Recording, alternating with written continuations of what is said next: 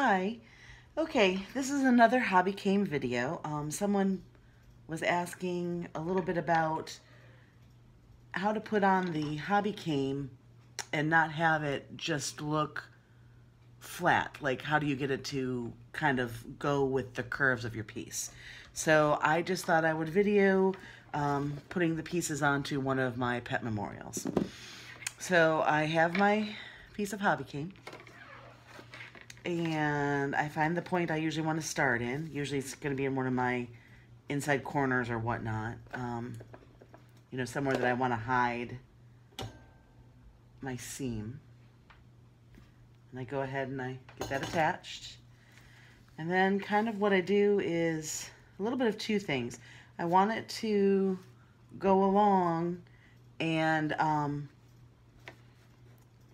get into the curves of the piece, but I want to pay attention because if, let's say I'm doing something that I kind of want it to look like it has a perfect circle or, you know, kind of has a nice gentle curve, if my pieces weren't cut exactly how I needed them to, I might need to fudge it a little bit. Um, you're going to have to figure out what works for you. I use a piece of a bottom of a stake for a like dollar um, light that goes out in your yard like a solar light and I use my hands. Um, you can wear gloves definitely for this because by the time I'm done, I'm going to be covered in lead. Um, usually I just kind of do this portion and then I go and wash up. Um, but you'll see what I, have started doing is taking it around the piece. Um, when I'm taking it in general areas, I just am kind of smoothing it out with my hands, kind of like clay. Um, when I get to a area that maybe has a little bit more of a, a detail that I want to get or press in, um, that's when I kind of use my um, little plastic piece or a fid to kind of get that piece. But you want to be careful because you can really crease it. You can also mark it um, and, and, and damage it if you push too hard with something that is plastic, which is why I kind of generally say um, trying to keep it with my hands the best I can. And this is probably the best point to explain. Um, I know on the on the one of the web pages, I don't know if it was mine or stained glass learners and addicts, they were asking, how do you get it around and not make it look like a snake? You know, if it kind of like this, you know, it's it's circle. So I kind of brought myself around on the track gently where I want it. And then all I'm going to do, I'm hoping you can see this, is I'm just starting to work it from the top down with my hands. And I'm trying to get it in where I kind of want it. I don't go too far without really looking at it. So you can kind of see now I'm kind of getting that curve. And then if I want to bring it in a little bit tighter, I might use my plastic piece. And I don't go very far if I'm starting to have something like this. I'll get um, a couple of down and then I'll go ahead and I'll tack it. Because even if I go in and do a little more refining with my hands, I'm not really going to need any more lead there and I don't want it to get too loose or or anything such as that. So as you see, I'm coming around. Hopefully you can see. Um, and I've also flipped mine both ways a little bit to make sure not only my track is staying even, but that I'm actually getting both sides. Um, and you can kind of see now how I've taken that curve in there. It doesn't look any more like a snake or straight down. So we're going to come, start it the same way on the other side just kind of getting it where you want. And this really is me just making sure that my piece is not twisted, that um, the glass is in that channel track of the lead. And you'll see again, right now it's real smooth and this side's got the curve.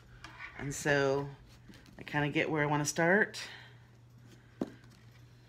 And I just gently like clay, kind of press it in with my hand. Sometimes I'll bend the piece. If it's a really tight or inside corner, I can do two things. I can kind of come in, as an example here, and I'm just going to fill in that little hole with lead, and I'm okay with that. If I really wanted it to be tight, I could actually cut the lead into that, like make a seam, and then start another piece, like you would do with normal leading um, when it's so thick that you can't get around a curve. Um, it's really going to just depend on you and how much you practice this and do it. Um, and you'll see now, comparative, this side is also getting that edge. I've got it pretty much where I want it, maybe a little bit more fine tuning. And again, I'll come part way up Um, wherever I'm going to solder it, though, I want to make sure that that piece is tight and how I want it. And then we'll come in and do another little solder joint. I do apologize. I don't do a lot of videos. This is kind of still new to me. And when you're one person on your own, you can't always, it doesn't always look like you hope it will, I guess, is, is what it's getting at. So I'm to come around my corner again, pressing in, kind of getting it where I want. You can kind of see the lead starting to get all over my hands. And as I get close to where I want to be, I kind of you can be better than me and measure and all that, but I kind of bring my lead in where I pretty much think it's going to be. And I mark it with my putty knife or whatever your lead knife is. Um, you can have a buy a lead knife. I've always used a putty knife because it's what I had in the house. I do sharpen my putty knife. I keep a sharp tip on it. Um, so I'm going to keep on working this in. It looks like I missed judge this one a little bit, but it's going to be okay because it's going to be up at that tip where I'm going to hide it with the, uh, the lead anyway. But I'm going to come around this corner. I do apologize. I hope you can see it. Kind of pushing it because it's just like anything. As I push it, I'm going to stretch it and it's going to give me a little more at that end.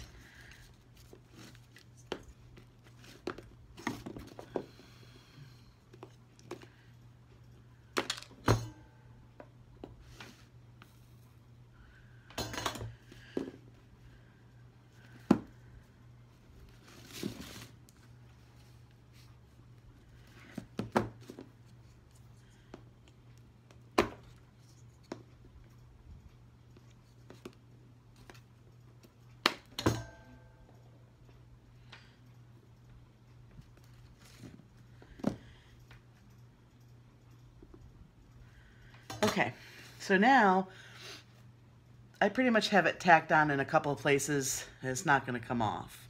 So if from when you're watching me, you can see now that it actually curves right with the piece and comes around.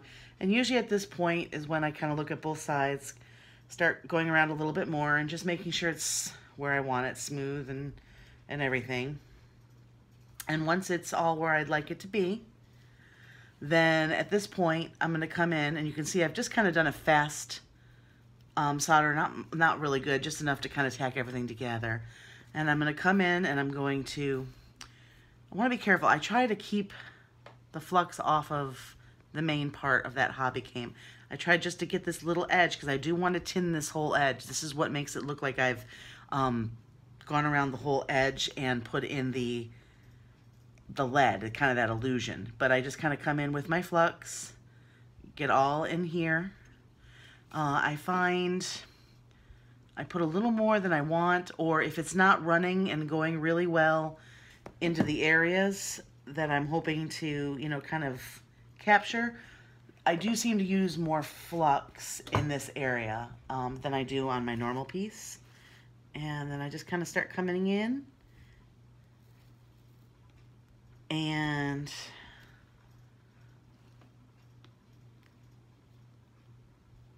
start filling in that edge and I'll play around with it.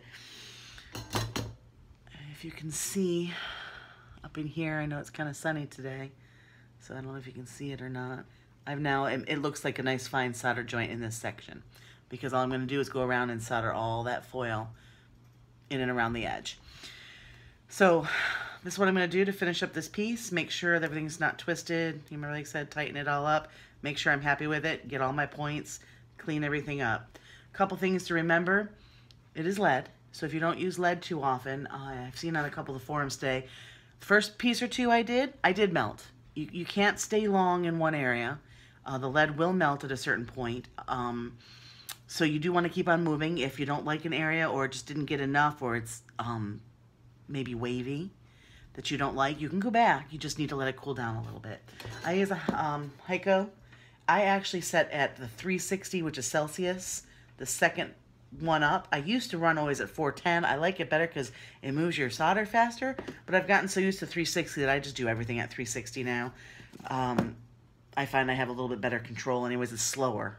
Uh, so I do have to watch. I sometimes, if, I should say, you got to be careful because if you stay too long in an area, you'll crack it because you it takes you much longer to to move everything. So a lot of times if I'm doing a bigger piece, I will move myself up, but not when I'm starting to work on this lead area because if I go up to the 410 or higher, it is going to melt through faster than I can get the work done. So hopefully that helps you to see how to put on the lead cane. Thanks.